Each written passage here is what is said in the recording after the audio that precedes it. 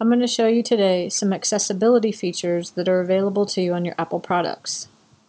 We're going to focus on zoom today, which allows you to magnify parts or all of the screen. So first go to settings, here, and touch it.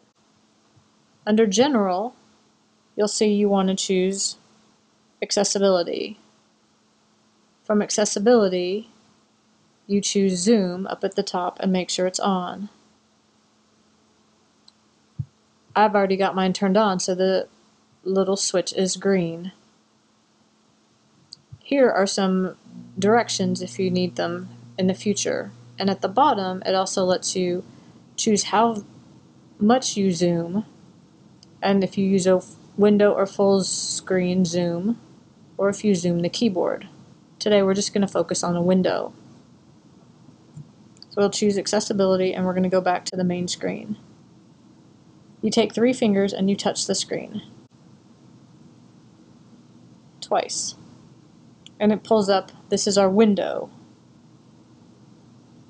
At the bottom here, this little gray oval allows you to maneuver and pull up a menu of other features.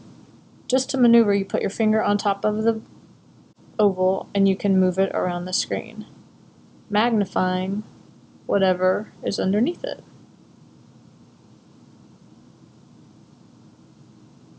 So let me show you how to get the menu. Just touch the little oval and it shows you zoom out, full screen zoom, resize the lens, choose the filter, and show the controller. It also has a bar at the bottom that allows you to change the magnification. So if you put your finger on that white button and you move it over to the right, you see things get bigger.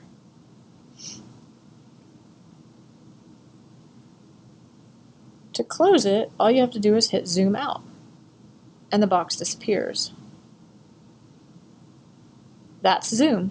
Hope you enjoy it.